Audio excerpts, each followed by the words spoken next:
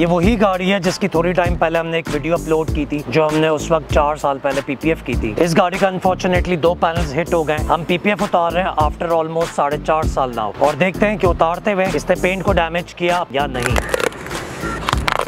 PPF उतारते हुए भी हमारे पास किसी किस्म का कोई डैमेज नहीं हो रहा। उसकी वजह यह है कि चार, साढ़े चार साल पहले जो फ़िल्म यूज़ हुई थी, वो ओरिजिनल पीपीएफ यूज़ हुआ था।